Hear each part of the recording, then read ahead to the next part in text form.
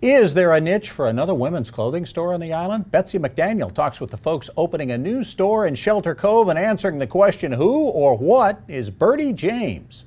We are at Shelter Cove Town Center in one of their newest tenants, Birdie James Authentic Chic Women's Clothing. And we're here with Michelle Taylor, the owner.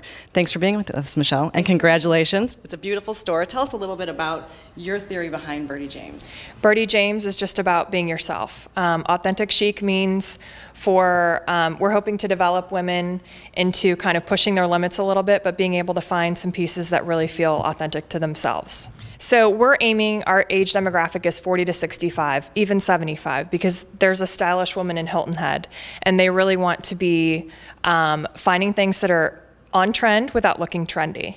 So we've been able to accomplish that with our private collection, the Birdie James collection, and then a few other things. Okay, well, show me a few pieces that are on trend but not trendy, that have some staying power and are, are kind of classic but also really stylish for right now. Okay, so the Birdie James collection, right here I have a few pieces. Um, this is our kind of tunic. Sometimes it can be a dress depending on your height. So it's got a longer sleeve line. It holds the bust here really nice, but then lets go in the tummy area and in the back. It's not quite A line because it's just kind of one sided.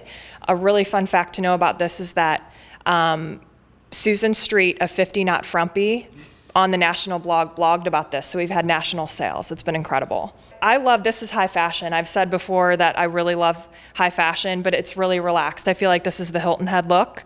So this is just kind of a relaxed t-shirt. It's got a little bit of a split back.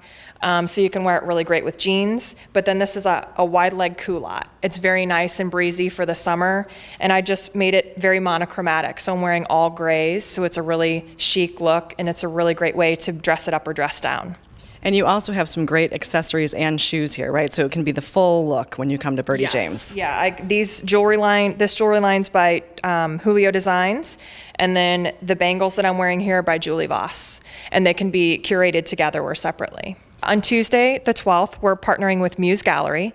And so we're going to have art installations on the walls in here. And then we're going to do drinks and cocktails to do um, debut a new line. And then Julie Voss is actually giving a free gift with purchase. So while supplies last, last on that, we're going to be doing a really beautiful chandelier statement earring with purchase here at Birdie James. Fantastic. And if people want to keep up with the events that you're going to do, because those are going to be regularly yes. occurring, how do they find those events and how do they find you? That's a great question. On Facebook, we're Birdie James Boutique. And then on Instagram, we're Birdie James. So those are great ways to find because we're constantly posting every day. Also, our website is thebirdiejames.com. And on birdiejames.com, is that an online store as well, or is it just a website to give information? We are currently developing our e commerce side of things. So we're going to be shooting for that very soon. We wanted to let the dust settle a little bit before we dove into that, but we're going to be doing that. That should be ready for fall. So anyone that experiences us and wants to go home and you know be able to shop online will be able to do so very soon. Well, you have a gorgeous space here, and we wish you all the luck in the world. From Birdie James in Shelter Cove, this is Betsy McDaniel for WHHI News. Back to you.